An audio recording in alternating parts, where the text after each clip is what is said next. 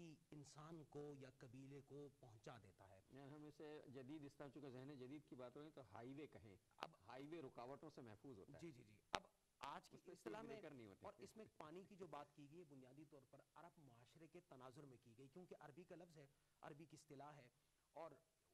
کے عربوں کے لیے اپنی زندگی کی سب سے اہم ترین شے وہ پانی ہوا آج کرتی بھی تھی یہی ہے۔ آج بھی یہ ہے۔ اور آنے والے زمانے میں سب سے زیادہ امپورٹنٹ چیز ہی پانی ہوگا پانی ہوگی اور پانی پر جنگیں ہوں اور اللہ نے اس کے بارے میں یہ بھی فرما دیا ہے کہ ہم نے تمہیں پانی تمہاری تخلیق میں پانی کا عنصر خلق نام مائی کل شعین ہے ہر زندہ چیز کو پانی سے پیدا فرمایا۔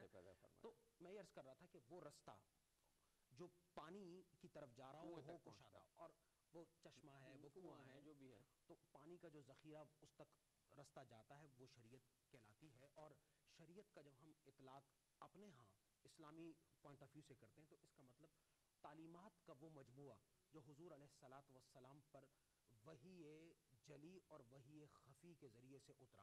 یعنی اوپن ریویلیشن اور سیکرٹ ریویلیشن کے ذریعے سے۔ اوپن ریویلیشن ہوری قرآن ہے اور جو مطلب سیکرٹ ریویلیشن ہے وہ حضور علیہ السلاۃ والسلام کے اقوال مبارکہ احادیث مبارکہ آپ کی عادات مبارکہ آپ کے یعنی افعال مبارکہ جسے اصطلاحاً ہم کہتے ہیں کہ وہی مطلوع ہے اور وہی وہی غیر مطلوع۔ غیر مطلوع غیر۔ مطلوع وہ ہے جو آپ صلی اللہ علیہ وسلم نے کر کے دکھایا مطلوع وہ ہے جس کی تلاوت کی جاتی جی، ہے جی، یہ بات جی۔ ہو رہی ہے تو اس تناظر میں شریعت بنیادی طور پر ایک بندے کا اللہ کے ساتھ تعلق قائم کرنے کا سچا اور پختہ رستہ وہ شریعت ہے۔ سیدھا سچا کشادہ آسان۔ آسان راستہ جو پانی تک پہنچاتا ہے۔ جو پانی۔ اچھا آپ نے جو عجیب بات کہی اس سے میرے ذہن میں عجیب غریب قسم کے کانسیپٹس جو آنا شروع ہوئے ہیں۔ اور وہ یہ کہ پانی کا راستہ جو ہے وہ اس طرح میں استعمال ہوتا ہے۔ پانی اصل میں تطہیر کرنے والی چیز ہے۔ پاک کرنے والی۔ کرنے والی چیز ہے۔ پانی انسانی زندگی کا لازمی جز ہے۔ اور تشنگی بجھانے والی چیز ہے۔ بالکل ایسے انسان کی روح کو جو کی جو تشنگی ہے اور پاکیزگی اس کا تعلق پانی سے ہے۔ اور شریعہ جو ہے وہ پانی ہے۔ پانی ہے بالکل۔ اس, اس, طہارت کی طرف لے جاتی ہے۔ کیونکہ دنیا کے اندر ہر وہ قوم۔ جس نے اپنے ہاں کسی انبیاء اور پیغمبر کی کلی یا جزوی تعلیمات کو محفوظ نہیں رکھا وہ بالآخر گمراہ ہو گمراہ ہو گئے۔ تو اس لیے شریعت کا امت مسلمہ کے پاس خود امت مسلمہ کی اپنی فلاح و بہبود کے لیے اور پوری انسانیت کی نجات ہدایت اور فلاح و بہبود کے لیے ہونا اور رہنا بہت ضروری ہے اسی کا نام شریعت ہے۔ تو شریعت بنیادی طور پر خاص طور پر مسلمانوں کے لیے چند مخصوص قوانین اور ضوابط کا نام نہیں بلکہ یہ پوری انسانی زندگی کی صورت گری کرنے والی۔ اور یہ صرف شریعہ جو ہے اس سے مسلمانوں کے لیے نہیں ہے نہیں، انسانیت کے لیے۔ بالکل، بالکل، چونکہ۔ انسانی ضرورتوں کے لیے نا پانی تو انسانی ضرورت ہے نا۔ بالکل انسانی ضرورت اور ہے۔ سیدھا اور سچا کشادہ سادہ آسان راستہ تو انسانی ضرورت ہے۔ بالکل ایسا ہی ہے اور اسی لیے اللہ سبحانہ ہوا تعالیٰ نے اس کو اپنی نعمت قرار کر کے وہ فرمایا ولی اتم نعمتی علیکم میں چاہتا ہوں کہ اپنی نعمت کو اس شریعت کی صورت میں تم پر جو ہے وہ تمام کر دوں۔ اور اسلام کو اللہ تعالیٰ نے اسی لیے نعمت قرار دی حضور علیہ السلاۃ والسلام پر خطبہ حجت الوداع کے دوران معاف کیجیے۔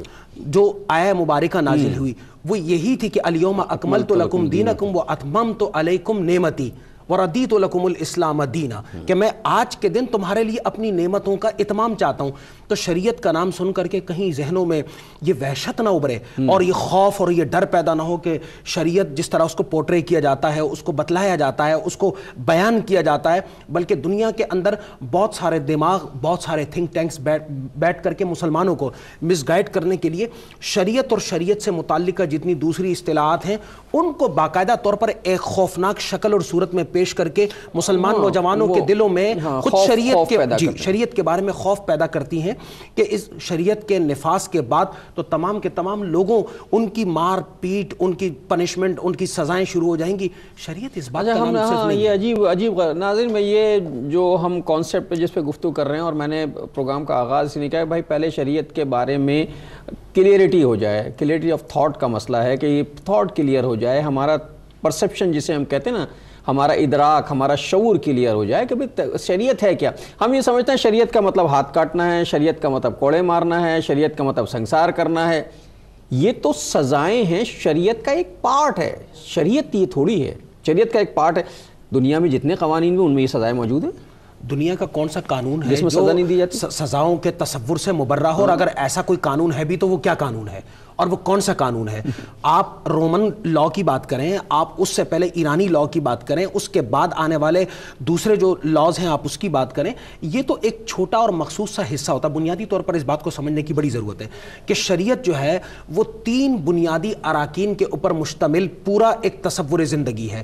پہلا اس کا تصور پہلا اس کا اصول وہ عقائد پر مشتمل ہے کہ عقائد کا پورا ایک نظام وضع کیا گیا ہے شریعت کے تحت آپ اللہ پر ایمان رسولوں پر ایمان اس آخرت پر ایمان۔ اور اس طرح مغیبات کے اوپر ایمان اور مرنے کے بعد دوبارہ زندہ ہونے پر ایمان حشر نشر پر ایمان جنت اور دوزخ ثواب اور عذاب کے تصور پر ایمان تو عقائد کی پوری ایک عمارت کو سب سے پہلے بطور اساس اور بنیاد کے قائم کیا گیا۔ اچھا جب یہ عقائد کی بلڈنگ تعمیر ہو جائے گی تو یہ رکاوٹیں تو خود بخود دور ہو جب ایک آپ کا تھاٹ کلیئر ہو گیا۔ تھاٹ کلیئر اس طور پر ہوا ہے کہ اب آپ نے اس بات پر اپنے ایمان کا اعلان اور اظہار کر ڈالا اور اپنی زبان سے بھی اور دل سے بھی۔ صرف زبان کی بات نہیں ہو رہی۔ اقرار باللسان و تصدیق بالقلب۔ جی۔ آپ زبان سے بھی اقرار کر رہے ہیں اور آپ کا دل اس اقرار کی تصدیق بھی کر رہا ہے کہ آپ اللہ سبحانہ ہوا تعالیٰ ہی کو اپنا خالق و مالک اور اپنا رب رب سمجھتے ہیں۔ رب سمجھتے ہیں۔ اب اگر اللہ سبحانہ ہوا تعالیٰ کی طرف سے کوئی حکم آپ کی ہدایت کے لیے وہ اتارا گیا ہے تو اب آپ کو چون چرا کرنے کی کوئی گنجائش باقی نہیں رہتی۔ ناظرین مطلب یہی بات ہے۔ ہم جو کہتے ہیں نا بسم اللہ الرحمن الرحیم الحمد للہ رب العالمین کہ عالمین کا رب جو ہے وہ اللہ ہے۔ رب جو ہے وہ عالمین کا رب جو ہے ہمارا پروردگار ہے۔ تو جب ہم رب کہتے ہیں تو رب وہ ہوتا ہے جو تمام مخلوقات کی ضرورتوں کا ادراک بھی رکھتا ہے اور ان کی کفالت بھی کرتا ہے۔ انسان کی بنیادی ضرورتیں جسمانی بھی ہیں اور روحانی بھی ہیں۔ اس کی کفالت صرف رب ہی کر سکتا ہے۔ اس میں کوئی شک نہیں، اللہ تعالیٰ نے اس زمین کو پیدا کیا اس میں اناج اور دوسرے غلہ اور ضروریات کو بھی پیدا فرمایا لیکن اس کے ساتھ ساتھ انسان کے وجود کا ایک لازمی جزو اس کی روح کو بنایا جس کے بغیر اس کی بقا اور حیات کا تسلسل کنٹینیوٹی یہ ممکن نہیں ہے۔ اور اس روح کی ہدایت کے لیے اور غذائیت کے لیے جس چیز کو بطور دوا اور غذا اور علاج کے تجویز فرمایا وہ شریعت شریعت۔ اسلامی ہے۔ اور شریعت اسلامی بنیادی طور پر کوئی نئی چیز نہیں ہے کہ اچانک سے ایک شریعت جو ہے وہ لوگوں کے سامنے ظاہر ہوتی ہے بطور قانون کے، اور اس کے بعد لوگوں کو اس بات پہ مجبور کیا جاتا ہے کہ آپ اس شریعت پر ایمان لا کر کے اس کے ہر جزیے کو اور اس کے تمام قوانین کی مختلف شکوں کو، اس کے کلازز کو ماننا شروع کر دیں، ایسا کچھ نہیں ہے۔ جب سے انسان کی تخلیق ہوئی ہے حضرت آدم علیہ السلام سے لے کر کے حضور ختمی المرتبت صلی اللہ علیہ وسلم کے دور مبارک تک ہر زمانے میں اس زمانے کی رعایت کے حساب سے اللہ تعالیٰ نے لوگوں کی عقلی اور ذہنی سطح ان کے جو مینٹل لیول تھا اور مینٹل کیپیسٹی تھی اس کے مطابق اپنے قوانین کو اپنے ہدایات کو ان پر اتارا۔ حضور علیہ السلاۃ والسلام نے آ کر کے تشریف لے آنے کے بعد اس کی تکمیل فرمائی۔ اور تمام ان قوانین میں سے وہ قوانین جو انسانیت کی بہتری کے لیے اس وقت اور قیامت تک سودمند ہو سکتے تھے، ان کو اپنے ہاں قوانین کا حصہ بنا دیا۔ مثلا قصاص کا ایک قانون ہے۔ شریعت کے حوالے سے ہم یہ بات کر رہے ہیں کہ شریعت میں سزاؤں کا ایک تصور ہے۔ تو قصاص کا قانون صرف قرآن کا قانون تو نہیں، حضور علیہ السلام والسلام کی خدمت میں یہودیوں کا ایک گروہ آیا اور وہ گروہ اس لیے آیا تھا کہ ان کے ہاں ایک قتل کا واقعہ ہو گیا تھا۔ اور وہ یہ چاہتے تھے کہ وہ تورات کے اس حکم قصاص پر عمل کرنے کے بجائے حضور صلی اللہ علیہ وسلم کے پاس چلے آئیں کیونکہ ان انہیں بھی اس بات پر حق الیقین تھا کہ حضور علیہ والسلام رحمت رحمت کے تحت جو ہے وہ فیصلے فرماتے ہیں۔ چنانچہ یہ گروہ آ کر کے آپ سے عرض کرتا ہے کہ ہم یہ چاہتے ہیں کہ آپ اس قتل کا فیصلہ اپنے طور پہ فرما دیں۔ حضور علیہ والسلام اللہ تعالیٰ نے آپ کو کتب سابقہ کا پورا علم عطا فرما رکھا تھا۔ آپ نے فرمایا، لے آؤ تورات۔ آپ جب تورات کو لایا گیا تو آپ نے فرمایا کہ تمہارے اس قتل کا فیصلہ تمہاری خود اپنی مقدس کتاب تورات کی روشنی میں کیا جاتا ہے اور وہ یہ ہے کہ ایک جان کے بدلے میں دوسری جان کو قتل کیا جائے گا۔ یہاں سے یہ تصور واضح ہوتا ہے حضور علیہ السلاۃ والسلام کا لائے و نظام آپ کے بتائے ہوئے قوانین یہ کوئی ایسے نہیں تھے کہ اچانک ایک معاشرے میں جو ہے وہ تسلسل ہے۔ ایک پوری کنٹینیوٹی ہے کنٹینیوٹی ہے تسلسل ہے پورا۔ اس کے تحت اور آج بھی یہ کوئی نئی بات تو نہیں ہے۔ آپ آج بھی تورات کو کھولیں جس کو آپ اولڈ ٹیسٹمنٹ کہتے ہیں جس کو آپ مطلب یہ کس مطلب کتب مقدسہ کہتے ہیں وہاں یہ قوانین آج بھی موجود ہیں۔ تو یہ اعتراض کرنا یا اس اعتراض اعتراض کو بڑا سنجیدہ لے لینا۔ اصل میں یہ اعتراض نہیں ہے یہ اصل میں مس انڈرسٹینڈنگ ہے۔ جی جی میں اور غلط فہمی ہے یہ۔ اس کے پیچھے باقاعدہ ایک ذہنیت کار فرما ہے اور وہ ذہنیت دیکھیں مسلمانوں کی مغلوب ذہنیت نے بہت سارے کام خراب کر دیے۔ ایک وقفہ لیتے ہیں پھر بات کرتے ہیں۔ ناظرین اس پر ایک بات کرنا چاہتے ہیں کہ یہ ایک یہ جو کہہ ہیں کہ ایک ذہنیت ایک مینٹلٹی ہے اس پر میں ذرا سی بات کرنا چاہتا ہوں لیکن ایک وقفہ لے لیں۔ السلام علیکم ورحمۃ اللہ وبرکاتہ۔ ویلکم بیک ناظرین وقفے کے بعد پروگرام اسلام اور ذہن جدید میں آپ کا خیر مقدم ہے۔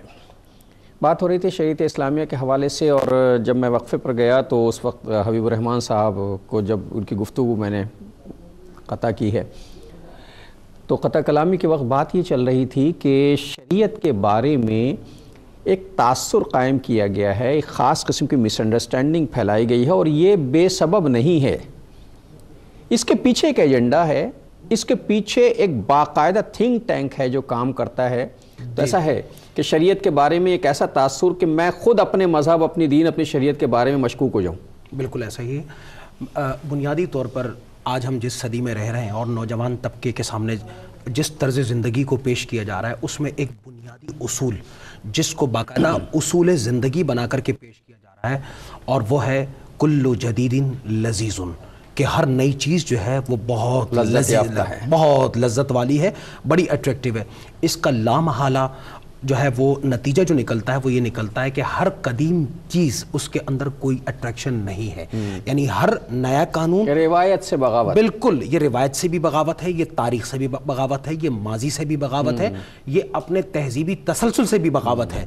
اور جب کسی انسان کی ذہنیت اس نہج پر اس ڈائریکشن میں ڈیولپ ہو جائے تو پھر اس کا انجام یہ نکلتا ہے اس کا نتیجہ یہ نکلتا ہے کہ وہ پرانی تمام کی تمام کو پرانے تمام کے تمام اعمال و معاملات کو یہاں تک کہ یقین اور عقائد سے متعلقہ جو اصول ہیں ضوابط ہیں ان تک کو بھی فرسودہ سمجھتا ہے۔ وہ کہتا ہے کہ آج کے دور میں آپ رہتے ہیں آپ کیسی باتیں کر رہے ہیں؟ بنیادی طور پر یہ جو کلچر پیدا ہوا یہ ڈیولپ ہوا یہ ایک خاص مغربی تہذیب کے تناظر میں پیدا ہوا۔ اور مغربی تہذیب کا وہ تناظر کانٹیکس کیا تھا؟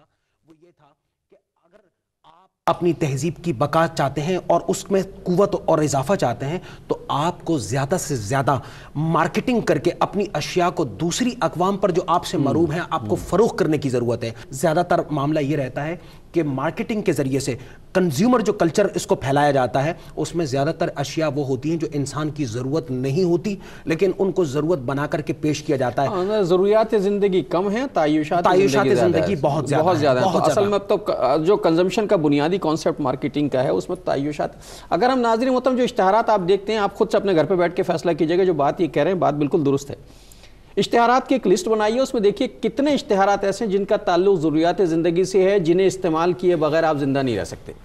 اور کتنے ایسے ہیں جن کی آپ کو ضرورت نہیں ہے لیکن آپ کو ضرورت پیدا کر دی گئی ہے وہ تعیشات زندگی وہ۔ تعیشات زندگی ہیں۔ اسلام کبھی بھی انسانی زندگی کے اندر وہ تمام کے تمام جو اشیاء ہیں جن سے اس کی زندگی میں راحت کا سامان پیدا ہوتا ہو اس سے ممانعت نہیں کرتا اس کی بالکل اس کو نہیں روکتا۔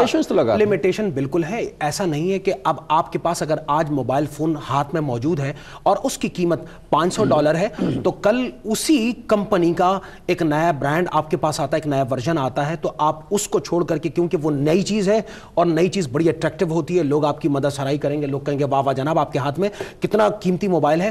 آپ نے باوجود اس کے کہ مالی طور پر آپ اتنے مستحکم نہیں تھے آپ نے جا کر کے اس نئے ورژن کو موبائل کے خرید لیا بغیر کسی ضرورت کے۔ اس طرح کی کوئی ضرورت جو ہے وہ ضرورت نہیں ہے۔ یہ اسراف ہے۔ اور یہ جو ہے وہ لگژریس وے آف لائف میں چلا جاتا ہے اسراف میں چلا جاتا ہے۔ تو کیا ہے کہ مغرب نے باقاعدہ ایک قاعدے کے تحت ایک من- منظم منصوبہ بندی کے تحت پلاننگ کے تحت مسلمان دنیا کے اندر اپنے اس صارفانہ کلچر کو پروموٹ کیا اور اس کے ذریعے سے عسکری قوت کو حاصل کیا اور جس قوم کے پاس عسکری قوت آ جاتی ہے وہاں خود بخود اس کا پولیٹیکل ڈومیننس جو ہے اس کا جو ہے وہ غلبہ ہو جاتا ہے اور باقی جتنی اقوام ہوتی ہیں وہ مغلوب ہوتی ہیں اور مغلوب ہمیشہ اپنے غالب قوم کی نقل کو اپنے لیے فخر سمجھتا ہے اپنے تئیں کوئی کام کرنے کی نہ اس میں صلاحیت ہو ہو پاتی ہے اور نہ استعداد ہو پاتی ہے۔ اس کا نتیجہ یہ نکلتا ہے کہ جو کہانی ایک غالب قوم اس کے سامنے بیان کرتی ہے وہ اسی اس کو حق اور سچ مجبور ہوتا ہے۔ بالکل وہ مجبور اپنے آپ کو پاتا ہے کہ وہ اس کو جو ہے وہ مانے۔ اور ناظرین یہ جو بات اب ایک دوسرے ٹریک پہ چلی گئی ہے موضوع ہمارا وہی ہے بات لیکن بات تو سچ ہے مگر بات ہے رسوائی کی۔ ساری دنیا میں ایک ایسا کلچر آ گیا ہے اور یہ کلچر جو ہے ہم جو کہتے ہیں نا تہذیبوں تہذیبوں کا تصادم یہ تہذیبوں کا تصادم نہیں مفادات کا تصادم ہے۔ یہ بالکل اس میں کوئی شک نہیں ہے تہذیبوں کا تصادم نہیں ہے مفادات کا تصادم۔ مفادات کا تصادم یہ ہے کہ کوشش یہ کی جا رہی ہے بین الاقوامی سطح پر کہ سارے ممالک کو، ساری دنیا کو کچھ ممالک، طاقتور ممالک کنزیومر سوسائٹی میں بدل دیں مارکیٹ بنا دیں۔ جب وہ مارکیٹ بنا دیں گے، ان کے ہر چیز دستیاب ہوگی تو انڈسٹری لگانے کا سوال ختم ہو جائے گا۔ اپنی پروڈکٹ پیدا کرنے کا سوال ہے وہ بالکل نہتیا جب چاہیں گے وہ مارکیٹ کو بند کر دکان بند کر دیں گے اور آپ بالکل ختم ہو جائے آپ مجبور محض ہیں۔ بالکل مجبور مجبور محض ہیں۔ تو جب آپ اپنے پیروں پہ انڈسٹری نہیں لگا رہے جب آپ صنعت نہیں لگا رہے جب آپ کی پیداوار نہیں ہو رہی آپ کی پروڈکشن نہیں ہو رہی تو آپ خالی ہاتھ ہیں۔ اور خالی ہاتھ آدمی ہمیشہ دوسروں کی طرف دیکھتا ہے اور جس کی طرف دیکھتا ہے اس کی بات بھی مانتا ہے۔ ہمیشہ رعایا حاکم کی نقل کرتے ہیں۔ ہمیشہ غالب ان کا غلبہ رہتا ہے مغلوب ہمیشہ غلبے کے تحت رہتے وہ ایک حدیث مبارکہ مفہوم بھی ہے نا کہ لوگ جو ہیں وہ اپنے بادشاہ کے دین پر ہوتے ہیں۔ بالکل بالکل رعایا جو ہے اپنے بادشاہ کے دین پر ہوتے ہیں الناس علی دین ملوکہم۔ لوگ جو ہیں اور دنیا کے اس وقت جو بادشاہ ہیں سب لوگ اپنی نگاہوں سے دیکھ سکتے ہیں۔ میں یہاں یہ بات عرض کروں ہو سکتا ہے کہ ہمارے نوجوانوں میں سے کسی کے ذہن میں یہ بات پیدا ہو۔ کاروباری حضرات میں سے کسی کے ذہن میں یہ بات پیدا ہو کہ آپ صحیح تو کہہ رہے ہیں لیکن ہمارا بھی تو بزنس ہے۔ ہم بھی تو اپنی اشیاء کو مارکیٹ کر رہے ہیں پروموٹ کر رہے ہیں۔ شریعت اسلامی کے کانٹیکس میں ہماری یہ بات ہے اگرچہ کہ اس کا اس وقت پہلو ایک دوسری جانب چلا گیا ہے لیکن کیونکہ وہ شریعت سے براہ راست اس کا ایک تعلق ہے۔ اور شریعت اسلامی کی قبولیت اور عدم قبولیت کی بنیاد میں اس کا ایک بڑا کردار ہے۔ یہ اس دائرے میں یہ ہم موضوع سے ہٹے نہیں ہیں۔ آپ یہ نہ سمجھئے کہ ہم موضوع سے ہٹے ہیں۔ ذہن جدید کا مطلب یہ ہے کہ ہر انداز سے سوچا جائے۔ ہر ہر ڈائمنشن سے ہر ہر سمت میں جا کے سوچا جائے۔ ہم دائرے سے ہٹے نہیں ہیں۔ شریعت اسلامی میں معیشت بھی شامل ہے مارکیٹنگ بھی شامل ہے۔ کنزمشن بھی شامل ہے پروڈکشن بھی شامل ہے، یہ ساری چیزیں شامل ہیں۔ تجارت کا بھی شریعت نے ایک اصول ہمیں بتایا، یہ وہ بات جاری بالکل۔ میں یہ بات عرض کر رہا ہوں کہ آپ مارکیٹنگ کے پوائنٹ آف ویو سے ذہن اگر یہ بنا لیں کہ ہم بھی تو چیزوں کو مارکیٹ کرتے ہیں، آپ شوق سے کیجیے۔ لیکن اس وقت ملٹائی نیشنل کمپنیز جو مارکیٹنگ کر کے اسلامی ممالک کے اندر اپنی پروڈکٹس کو پھینک رہی ہیں میرا سوال صرف یہ ہے کہ کیا کسی مسلمان کو بھی اس بات کی اجازت ہے کہ وہ اپنی اس سطح کی بڑی کمپنی کو قائم کر کے ملٹائی نیشنل کے نام پر اور دنیا بھر کے بشمول یورپ اور امریکہ کے ممالک کے اندر اور ریاستوں کے اندر وہ اپنی پروڈکٹس کو جو ہے وہ لانچ کریں تو آپ کو اس کا جواب ملے گا کہ کوئی بھی مسلمان صنعتکار جب اپنی صنعت کو اس عالمی معیار پر لے جانے کی کوشش کرتا ہے تو فوری طور پر اس کے چاروں اطراف ایسا گھیرا تنگ کر دیا جاتا ہے کہ وہ بالآخر مجبور ہو جاتا ہے اپنے اس تصور سے اپنے آپ کو آزاد کرنے پر اور دوسری بات اپنے اس کاروبار کو بند کرنے پر اور شاید یہ گلوبلائزیشن کا متعصبانہ تصور ہے۔ نہایت مجھے معاف کیجیے گا۔ یہ بات یہاں ایک بات عرض کرنا چاہوں کہ آپ نے فرمایا کہ تہذیبوں کے تصادم کا نظریہ۔ ہم اس بات کے قائل بالکل نہیں ہیں۔ لیکن مسئلہ صرف یہ ہے کہ مسلمان مسلمانوں نے ہمیشہ مختلف تہذیبوں کے ساتھ انٹریکٹ کیا جی ہے۔ جی۔ وہ رومن تہذیب بھی تھی۔ تصادم نہیں تصادم نہیں کیا۔ ایرانی تہذیب کے ساتھ۔ اور کمال بات یہ ہے کہ یعنی عباسی دور تک مسلمان جو حاکم رہے اور ان کی خلافت کا مرکز بغداد پہلے مدینہ المنورہ پھر کوفہ اور اس کے بعد بغداد رہا۔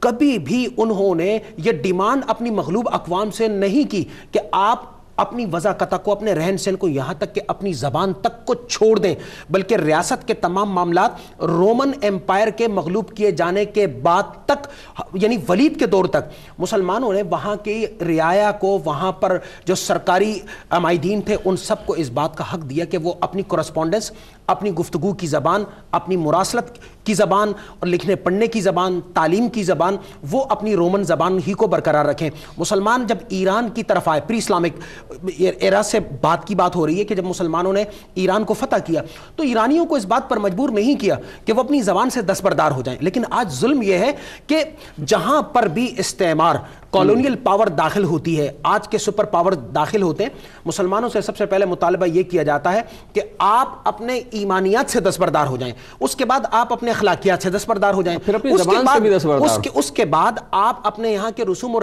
رواج سے دستبردار ہو جائیں۔ اور چوتھی سطح پر یہ کہ اب آپ اپنی زبان کو بھی ترک کر دیں کیونکہ آپ کی زبان اب اس قابل نہیں کہ اس میں آپ اپنے مفادات کو آپ اپنی ضروریات کو اور آپ اپنے حوائج کو پیش کر سکیں۔ تو اس لیے آپ وہ زبان بولا کریں جو ہم آپ کو بتا رہے ہیں اور جو ہم بولتے ہیں۔ اور یہ یاد یہ ہمارے ذہن میں یہ بات ناظرین بہت ہی مستحکم طور پہ مضبوط رہنی چاہیے۔ جس قوم کا تعلق ناتا رشتہ اس کی زبان سے ٹوٹ جاتا ہے وہ تہذیب سے اس کی تہذیب پوری تاریخ کا تسلسل جو ہے وہ رشتہ جو ہے وہ منقطع ہو جاتا ہے۔ اور میری اس لیے گزارش ہے کہ ہمارا یہ پروگرام اگرچہ کہ اردو میں ہو رہا ہے لیکن اس کے ساتھ ساتھ وہ نوجوان نسل مسلمانوں کی جو اس وقت دنیا کے کسی بھی خطے کے اندر جو ہے وہ رہ رہے ہیں وہ اپنی اولادوں کا تعلق اردو زبان کے ساتھ اس لیے قائم و دائم رکھیں تاکہ اس کے تہذیب بھی زبان ہے یہ ہماری تہذیب کی زبان ہے اور یہ ہمارے دین کی زبان بن چکی ہے۔ کیونکہ عربی کے بعد سب سے بڑا اسلامی لٹریچر اور ذخیرہ اگر کسی زبان کے اندر موجود ہے تو وہ اردو زبان میں موجود ہے۔ اور جب آپ اردو کے ساتھ اپنے اس تعلق کو برقرار رکھتے ہیں تو آپ بنیادی طور پر اس پورے تہذیبی تسلسل کے ساتھ ساتھ ہاں، اس کو کنٹینیوٹی باقی رہتی ہے۔ اور روایات کے ساتھ آپ اس سے تسلسل نہیں ٹوٹتا بالکل ایک تو تسلسل جاری رہتا ہے اور دوسرا یہ ہے کہ آپ اپنے یہ مفادات کی بات نہیں ہو رہی ہے یہ آپ کی روحانیت زبان کی روحانیت ہوتی ہے۔ یہ ہماری ڈگنیٹی کا مسئلہ بالکل یہ ہماری عزت کا بھی مسئلہ ہے اور یہ ہماری عزت نفس کا معاملہ ہے۔ یہ ہماری روحانیت کا بھی مسئلہ ہے۔ زبان کی روحانیت بھی ہوتی ہے اس کی ایک اسپریچویلٹی بھی ہوتی ہے اور وہ اس لیے ہوتی ہے کہ اس زبان کے اندر موجود بہت ساری علامات بہت ساری شاعر بہت ساری اصطلاحات وہ ہوتی ہیں کہ جن کو آپ اگر کسی زبان میں ترجمہ کرنا بھی چاہیں تو وہ ترجمہ نہیں کا ترجمہ نہیں ہوتا۔ اور دوسری بات ہمارے ہاں اسلامی تہذیب تہذیب کی ایک بہت بڑی اسطلاح ہے حیاء حیا۔ اب اس حیاء کو آپ موڈیسٹی کہیں آپ چیسٹٹی کہیں آپ پائٹی کہیں کچھ بھی کہیں لیکن حیاء حیاء ہے وہ یہ سب کچھ نہیں ہے۔ اگر کچھ بھی کہیں حیاء نہیں آئے گی۔ جی جی, جی۔ وہ حیاء اپنے ایک تہذیبی تسلسل اور ارتقاء کے نتیجے میں ہاں۔ اور اس کی پش کے اوپر مسلمانوں کے ایک عمل کے نتیجے میں جس طور پر حیاء کا ایک تصور وجود میں آیا ہے تو صاحب بات ہے کہ اس تصور کے اندر ایک انفرادیت پائی جاتی ہے۔ یہ بات بالکل صحیح ہے۔ حبیب الرحمن صاحب جو بات فرما رہے ہیں، وہ یہ گلوبلائزیشن کے حوالے سے، یہ گلوبلائزیشن میری ذاتی رائے ہے۔ ممکن ہے آپ اس سے متفق ہو ممکن ہے آپ اس کی تردید کر دیں، آپ کو پورا حق ہے۔ یہ گلوبلائزیشن جو ہے، محض ایک دھوکہ ہے۔ اور ہم سب اس دھوکے میں مبتلا ہیں، ایک وقفہ لے لیتے ہیں، پھر آ کے بات کرتے ہیں اس پر۔ السلام علیکم ورحمۃ اللہ وبرکاتہ۔ ویلکم بیک ناظرین وقفے کے بعد پروگرام میں آپ کا خیر مقدم آپ پروگرام دیکھ رہے ہیں اسلام اور ذہن جدید۔ ابھی وقفے میں حبیب الرحمان صاحب یہ کہہ رہے تھے کہ صاحب یہ ہم شاید ادھر ادھر ہو کے گفتگو کر رہے ہیں۔ ہم ادھر ادھر ہو کے ہی تو گفتگو کرنا چاہتے ہیں۔ مسئلہ یہ ہے کہ ہم ادھر ادھر ہو گئے، ادھر نہیں آ رہا ہے سارے کے سارے۔ تو جس شریعت کی ہم بات کر رہے ہیں، شریعت اسلامیہ کی بات ہو رہی، تو ہم یہ چاہتے ہیں جو ہم ادھر ادھر ہو گئے تو ہم ایک اس راستے پر آ جائیں جس کی ڈیفینیشن جو ہے وہ ابتدا میں بتائی گئی تھی کہ کھلا، کشادہ، آسان و وسیع راستہ ہے جس پر چلنا ہے۔ لیکن ہمارے ساتھ یہ ہوا، وقفے سے پہلے میں کہہ رہا تھا کہ ہم گلوبلائزیشن کے چکر میں پڑ گئے ہیں اور گلوبلائزیشن کا ہمیں کہا گیا کہ یہ ساری دنیا جو ہے ایک گلوبل ولیج بن گئی ہے یعنی ایک کیا ہے، بین الاقوامی گاؤں بن گئی ہے، ہم ایک گلوبل سٹی کے لوگ ہیں، ہم ساری دنیا میں ہم ایک انٹرنیشنل سٹیزن ہو گئے، شہری ہو گئے۔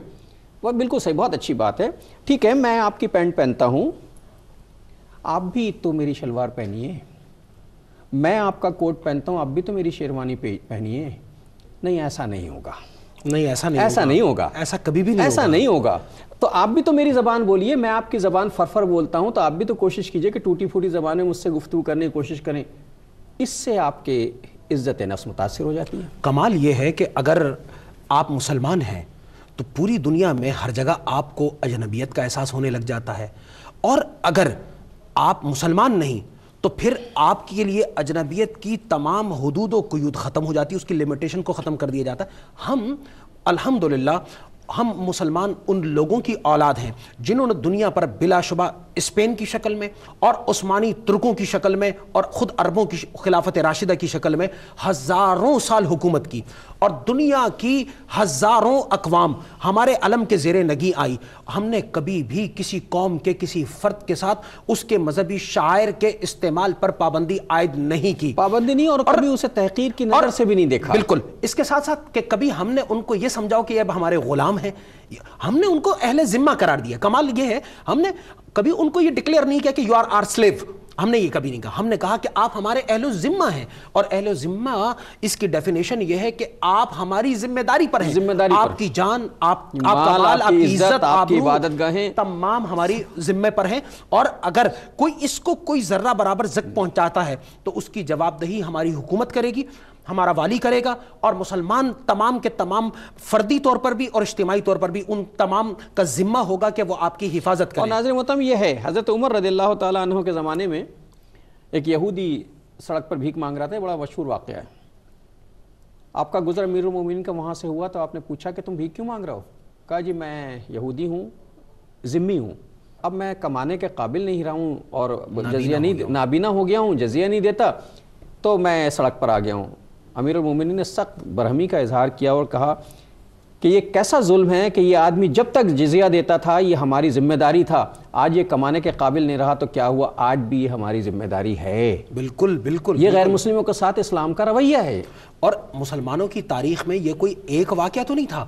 ہزاروں واقعات حضور علیہ السلاۃ والسلام کے خود دور مبارک میں حضرت عبداللہ ابن رواحہ رضی اللہ تعالیٰ عنہ کو بھیجا گیا کہ خیبر کی جو زمینیں حضور علیہ السلاۃ والسلام کے ساتھ معاہدے کے نتیجے میں اس کا نصف حضور علیہ والسلام کو ملنا تھا۔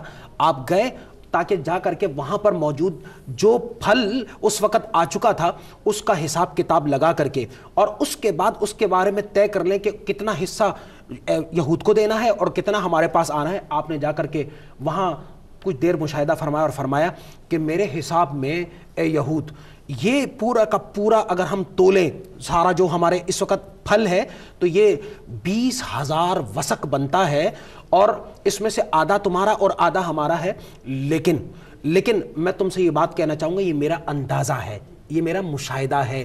تم اس بات کے پابند نہیں کہ تم میرے اندازے اور میرے مشاہدے کو اب جو ہے فیصلہ بالکل حتمی فیصلہ سمجھو۔ اب یہ تمہاری اپنی منشا اور ثوابدید ہے۔ تم اس سے کم دے دو تو ہم اس پر بھی راضی۔ اور تم اس کے مطابق دے دو تو ہم اس پر بھی راضی۔ یہود نے یہ سن کر کے کہا کہ اللہ تعالیٰ نے زمین اور آسمان کے نظام کو اسی عدل کی بنیاد پر قائم رکھا بے شک۔ تو اور یہ جس خیبر کا واقعہ ہے جس خیبر کی بات ہو رہی یہ وہ خیبر ہے جو حضور صلی اللہ علیہ وسلم فاتح خیبر بنے جو حضرت علی کا مشہور واقعہ فاتح خیبر کے حوالے سے۔ آپ چاہتے تو تمام لوگوں کو وہاں سے نکال دیتے یہ خیبر فتح ہوا ہے اور آپ چاہتے تو چٹکی بجاتے میں سب کو وہاں سے اور سب جانے کو تیار تھے۔ بڑی بڑی فصلیں بڑی بڑی زمینیں آپ نے انہی کے حوالے کی۔ کماؤ اگاؤ فصل کاٹو ہماری ذمہ داری پر رہو تمہیں امان ملے گا۔ فصلیں چھینی نہیں ہیں ہم اصل میں مسلمانوں کی نااہلی مسلمانوں کے جہاں جہاں کچھ معاملات ایسے ہیں جس کی وجہ سے وہ اپنے دین سے یا اپنے راستے سے ہٹے ہوئے اس کو تو ہم ہائی لائٹ کرتے ہیں۔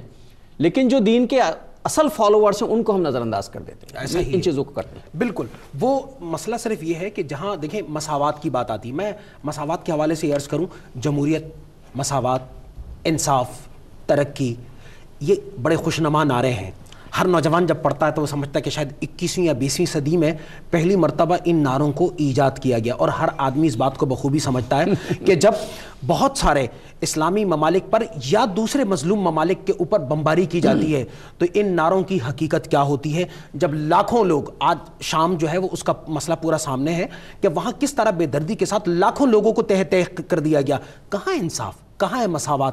نعروں کی حد تک جب اسلامی حکومت اور اسلامی تہذیب کے غلبے کا دور تھا۔ تو پھر اس بات کی کسی کو مجال نہیں ہو سکتی تھی کہ وہ کسی غیر مسلم کو جا کر کے اس نیت کے ساتھ چھولے کہ وہ اس کے صرف اس جسم پر پہنے ہوئے کپڑوں کو اتار کر کے اس پر قبضہ اور ملکیت کا دعویٰ کر لے۔ قاضی شرح کی عدالت موجود تھی اور قاضی شرح نے ایک دو نہیں ہزاروں فیصلے دیے اور زیادہ تر فیصلے اگر حق اور انصاف پر مبنی کوئی غیر مسلم آپ کے پاس آپ کے دربار میں آیا تو آپ نے اس بات کو تو کبھی ترجیح نہیں دی کہ میرے پاس مدعال ہے مسلمان اور مدعی مسلمان ہے۔ جو ہے وہ نان مسلم ہے۔ تو میں اس لیے فیصلہ مسلمان کے حق میں کر دوں۔ آپ نے فرمایا نہیں۔ اور ناظرین یہی شریعت اسلامی تھی حضرت علی کرم اللہ وجہ الکریم کے زمانے کا واقعہ ہے کہ آپ کے ذرا چوری ہو گئی۔ جو حاکم وقت ہے، جو قاضی القضاء ہے، وہ آپ چیف جسٹس چیف جسٹس حضرت علی امیر المومنین کا مقرر کرتا ہے۔ ملازم ہوا نا، سربراہ کا۔ آپ کے ذرا چوری ہو گئی، چوری کرنے والا یہودی ہے، یہود نے ذرا پہنی، آپ نے پہچان لی اور مقدمہ جو ہے وہ قاضی کی عدالت میں کر دیا۔ پیشی ہوئی ہیئرنگ ہوئی۔ آپ نے یہ نہیں کہا کہ مجھے استثناء حاصل ہے، میں عدالت میں پیش نہیں ہوں گا۔ آپ عدالت میں طلب کیے گئے، آپ امیر المومنین کی حیثیت سے پہنچے۔ ساتھ میں حضرت حسن تھے اور یہ غلام کو ساتھ لے کر گئے۔ قاضی نے پوچھا کہ یہ بتائیے کہ آپ کے پاس کوئی گواہ ہے کہ یہ ذرا آپ کی ہے؟ حضرت علی نے فرمایا، یہ حسن میرے گواہ ہیں اور یہ کہا کہ بیٹے کی اور غلام کی گواہی قابل قبول نہیں ہے، شریعت کا تقاضا یہ ہے۔ آپ نے خاموشی اختیار کر لی۔ فیصلہ یہودی کے حق میں ہو گیا۔ ذرا یہودی کو دے دی گئی۔ امیر المومنین اسی طرح فیصلے کو مان کر باہر نکل آئے۔ پھر یہودی نے باہر آ کر کہا کہ امیر المومنین مسلمانوں کے امیر ذرا تو واقعی آپ کی ہے میں تو آپ کے عدلیہ کا انصاف دیکھنا چاہتا تھا۔ یہ ذرا آپ کی ہے جس میں اتنے انصاف کرنے والا قانون ہو وہی دین برحق ہو سکتا ہے۔ اسلامی شریعت کا بنیادی اصول۔ یہ اسلامی شریعت ہے۔ لا درر ولا درارا فی الاسلام۔ نہ تکلیف لینی ہے نہ تکلیف دینی ہے۔ انفرادی سطح پر بھی اجتماعی سطح پر بھی قومی سطح پر بھی اور بین الاقوامی سطح پر بھی۔ اس لیے اسلام اور اسلامی پوری نظم و ضبط اور معاشرت اور معیشت اس کا بنیادی اصول یہ ہے کہ اگر آپ نے ایک بار کوئی وعدہ کسی قوم کے ساتھ کر لیا ہے تو چاہے وہ کافر قوم ہو، جی غیر جی، مسلم جی، ہو اگر جی۔ وعدہ کر لیا ہے۔ صاحب بات ہے کہ آپ بین الاقوامی سطح پر جب معاہدات کرتے ہیں تو وہ زیادہ تر ہی غیر مسلمین کے ساتھ ہوتے ہیں۔ اور صلح حدیبیہ اس کا سب سے بڑی مثال ہے۔ سب سے بڑی مثال ہے۔ اگرچہ کہ اس کے تمام بنیادی جو کلازز ہیں وہ آپ کے اگینسٹ جا رہے ہیں لیکن آپ نے کیونکہ ایک بار وعدہ کر لیا زبان دے دی ہے۔ زبان دے دی ہے تو آپ کی زبان امانت ہو گئی۔ اور اللہ تعالیٰ ارشاد فرماتا ہے کہ اے ایمان والو تم اپنی امانتوں کو ادا کیا کرو۔ حضور علیہ السلام نے بھی اس وعدے کی پاسداری سیدنا عمر ابن الخطاب رضی تعالیٰ عنہ کے دور میں بارہا ایسا ہوا کہ آپ نے قریب کی عیسائی ریاستوں کے ساتھ وعدہ کیا لیکن نقصان کے باوجود بھی اپنی فوجوں کو وہاں سے واپس بلا لیا اہل جزیہ کی رقم کو واپس کر کے۔ اور ان کی ان کے اس اپنے ذمے عائد شدہ جو گارنٹی کو واپس فرماتے ہوئے ان کی رقم کو لوٹا دیا کہ اب ہم آپ کے ضامن نہیں بن سکتے۔ ضامن نہیں بن سکتے۔ جی جی تو اس لیے اب ہم آپ کی رقم کو واپس جی۔ یہ ہے وعدہ۔ اور ایک حدیث کا مفہوم یہ ہے کہ جس کا عہد نہیں اس کا ایمان نہیں۔ چاہے وہ مسلم کے ساتھ ہو، چاہے غیر مسلم ناظر محترم، یہ ایک بہت ہی میرے خیال دلچسپ بحث آپ کو شاید لگی ہو۔ میرے خیال سے تو ایک دلچسپ بحث ہے، چونکہ عہد حاضر کے تناظر میں جو ہے ہم یہ ساری باتیں کرتے ہیں۔ اور اسلام اور دین ذہن جدید کا بنیادی مقصد یہ ہے کہ اسلام کو ذہن جدید کے سامنے آج کے عہد کے حوالے سے رکھا جائے۔ اور اس پر بات کی جائے۔ لیکن آج کے پروگرام کا وقت ختم ہو رہا ہے۔ یہ موضوع ہمارا جاری ہے، چونکہ ابھی تو شریعت پر ہی بات ہوئی ہے۔ ابھی تو بہت لمبا معاملہ ہے جس پر گفتگو انشاءاللہ اگلے پروگرام میں آ کر پھر ہم اس موضوع پر آپ سے گفتگو کرتے ہیں۔ اور اس کے ساتھ ہی ڈاکٹر حبیب الرحمان اور اپنے میزبان ڈاکٹر محمود غزنوی کو اگلے پروگرام تک کے لیے اجازت دیجیے۔ اللہ نگبان